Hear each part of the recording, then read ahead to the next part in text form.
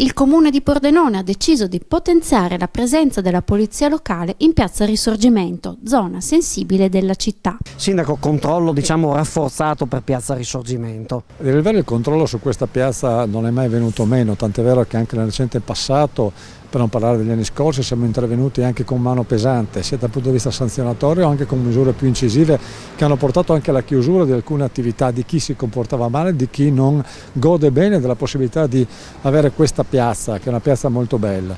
Dall'altro lato dobbiamo essere attenti a quelle che sono le richieste dei residenti che in questo momento, a causa anche di alcuni episodi poco edificanti capitati nelle ultime settimane, chiedono maggior controllo, maggior controllo per loro, maggior controllo per i commercianti e soprattutto maggior controllo per consentire, ripeto, di di godere di questa piazza. Quando ci siamo insediati come amministrazione abbiamo sempre cercato di monitorare il territorio intervenire a seconda delle esigenze ove necessario. In questo momento Piazza Risorgimento è una delle piazze più frequentate, quindi in questo modo cerchiamo di monitorare, garantendo a chi vuole vivere la città in sicurezza e in tranquillità di poterlo fare e magari con un occhio in più anche cercare di tranquillizzare chi della piazza vuole fare altro. Comandante, le modalità operative di questo presidio qui in Piazza Risorgimento? Sì, Piccolo in presidio è un potenziamento dei controlli che questa piazza ha cercato di eh, avere, l'amministrazione comunale si sta sforzando in questo questo senso e noi ovviamente facendone parte diamo un contributo. Più che presidio sono dei controlli che dalle 5 di pomeriggio fino alle 20,